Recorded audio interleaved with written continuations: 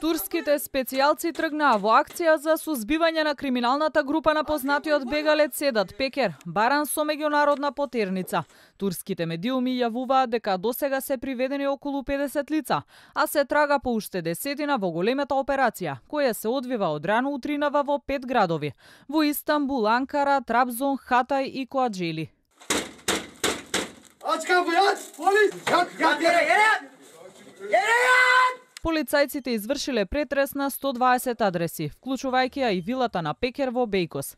Неговото име во Македонија се поврзува со фалсификуваните пасоши, а во неговото досие има сериозни дела како основање на криминална организација, рекет и подкуп.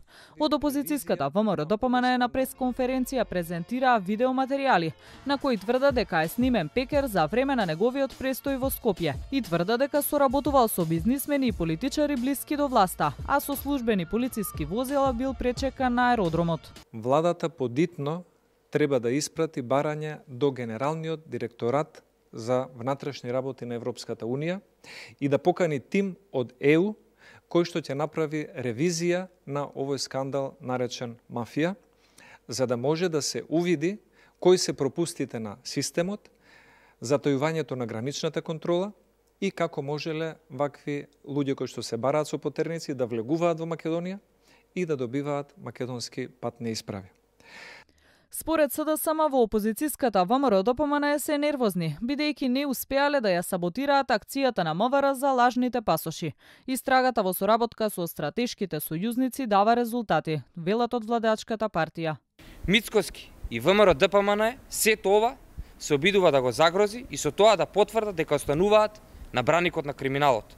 Ваквото нивно однесување Овие обиди за саботажа повлекува истрага за утврдување на одговорност.